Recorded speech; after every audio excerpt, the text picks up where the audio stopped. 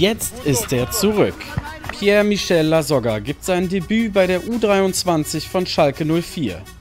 Und wie es sich für einen Ex-Bundesliga-Stürmer gehört, köpft er auch gleich zum zwischenzeitlichen 1:1 im Testspiel gegen Havelse ein.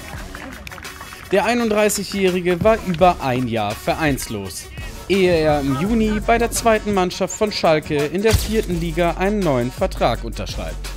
Bis 2022 spielt der Mittelstürmer noch im Wüstenstaat Katar, findet danach jedoch keinen neuen Verein. Ob Lasogga auch für die erste Mannschaft von Schalke in Zukunft spielen wird, ist unklar.